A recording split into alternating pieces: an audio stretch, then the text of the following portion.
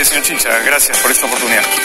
Bienvenidos a un nuevo video. Suscríbete al canal para más novedades. Última hora Perú, tu resumen informativo, las noticias más resaltantes. Comenzamos. Se ha confirmado que por lo menos tiene la intención el ex asesor de Patricia Benavides, Jaime Villanueva, de que testificará en el juicio por el caso Cocteles. Ha pedido precisamente de uno de los abogados de Fuerza Popular, Cristian Salas.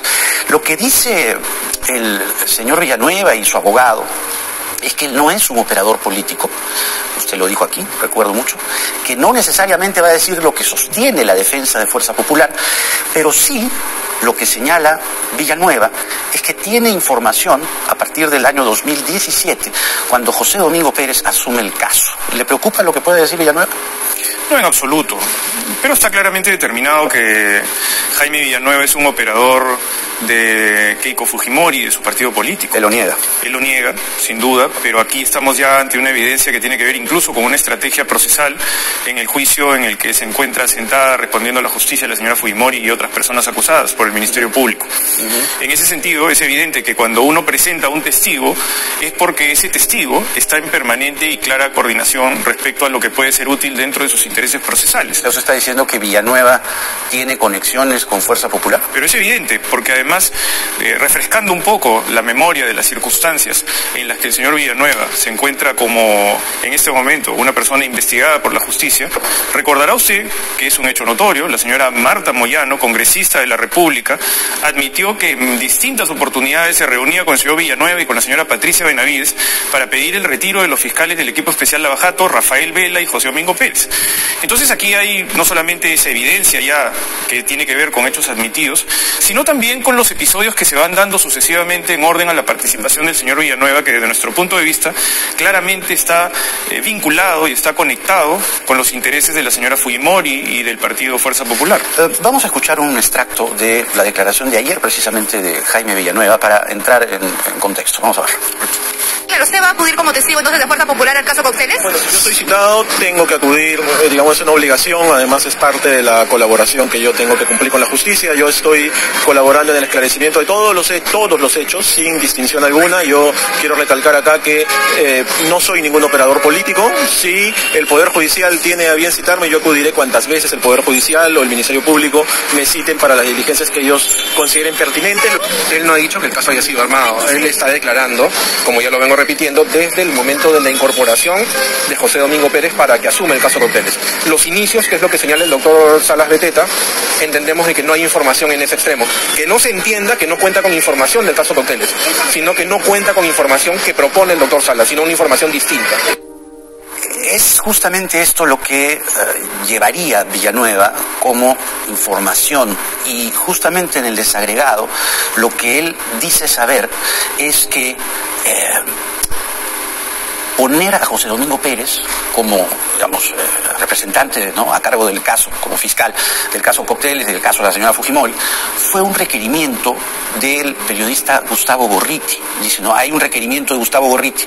Tenemos que tener un fiscal que no tenga miedo de llevar el caso Cocteles. Un requerimiento de Gorriti a Villanueva como amigo. Exactamente. Entonces le pregunta a Miguel Girao, ¿conoces algún fiscal que pueda llevar el caso? Y él, que había sido anteriormente amigo de José Domingo Pérez, le dice, el doctor José Domingo. Lo entrevistan, le proponen integrar al equipo, llevar el caso Cocteles y luego satisfacer algunas pretensiones, se integra al equipo. ¿Esto es cierto? Esto es absolutamente falso. Y se lo digo yo porque yo soy quien propone y quien gestiona todo lo referente a la incorporación del fiscal José Domingo Pérez, eh, en una coordinación además que se hizo directamente con el señor fiscal de la Nación de ese momento, que es el doctor Pablo Sánchez Velarde. Ajá. Todo esto que está narrando el señor Villanueva es absolutamente falso y no lo ha podido demostrar hasta la fecha, sino solamente con su palabra. Ahora, lo que el público, digamos, desavisado o que ve las noticias, se preguntaría es, ¿por qué a Villanueva creerle una parte? Tanto así que acabó con la carrera fiscal de Patricia Benavides. ¿Y por qué no esta parte? Es una pregunta válida Válida. que se pueden hacer. Sí, por supuesto, señor Chincha. Al señor Villanueva hay que creerle lo que él pueda corroborar. Ajá. Todas estas afirmaciones que hizo el señor Villanueva las hizo en condición de testigo, no de colaborador eficaz. La colaboración eficaz tiene la particularidad que todos los hechos que se dicen dentro de este espacio procesal tienen que ser corroborados para que puedan ser admitidos por la justicia. efecto, pero eh, entonces lo que usted está Sí, diciendo... pero si me permite solamente solamente precisar, porque estas declaraciones que hace el señor Villanueva las hace ante el fiscal Reinaldo Avia en una instancia distinta y en condición de testigo. Pero, pero eso es lo que quiero justamente determinar y que el público lo tenga claro. Cuando Villanueva se refiere a esta supuesta participación de Gustavo Gorriti, que finalmente propuso a José Domingo Pérez, ¿lo dice no como colaborador, sino como testigo? Absolutamente. Y lo hace en una fecha muy posterior al, al momento en el que él fue detenido preliminarmente por un mandato judicial. En ese espacio es donde más bien libera toda la información que ha sido corroborada y que ha servido para construir el caso contra la señora Patricia Benavides. Es en ese espacio de la colaboración eficaz porque ahí hay una obligación de corroborar todo lo que el señor Villanueva ha dicho. Pero resulta que después de casi dos meses de producido ese acontecimiento procesal de la colaboración eficaz, el señor Villanueva acude a una Fiscalía Suprema y súbitamente empieza a revelar todas estas consideraciones sin ningún elemento de prueba, más allá de su declaración. Entonces está claro que ahora lo que ha determinado esa declaración del señor Villanueva, una declaración que no tiene ningún otro respaldo, fíjese después, es lo que a nosotros nos lleva en la asociación con lo que está sucediendo ahora, de ser propuesto como testigo de Fuerza Popular de la señora Keiko Fujimori, a establecer cuál es la génesis de sus aseveraciones falsas y de sus difamaciones.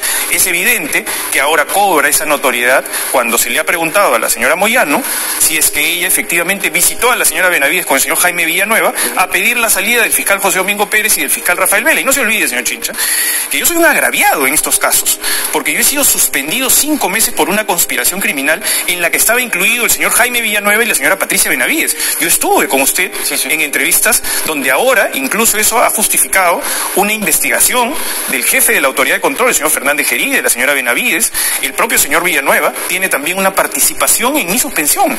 Así que todas estas circunstancias, en realidad, lo que determinan es que precisamente el señor Villanueva, la señora Benavides, estaban primero actuando en ese momento coordinadamente con el Partido Fuerza Popular y con congresistas del Partido Fuerza Popular, y ahora esto que se revela a partir de la decisión de, de incorporarlo como un testigo o pedir que se incorpore, porque finalmente es una, una No, prueba que dependerá del del Poder Judicial. Sala, ¿no? Y el Poder Judicial. Pero Así es. hay otro asunto que me parece fundamental y me gustaría desarrollarlo con usted, y tiene que ver con Jorge Barata. El fiscal Pérez lo anunció en la primera audiencia, si mal no recuerdo.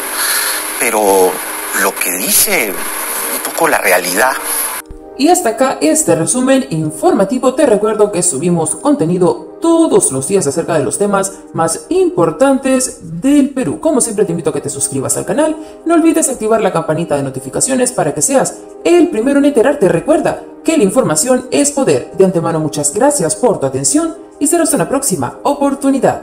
Hasta pronto.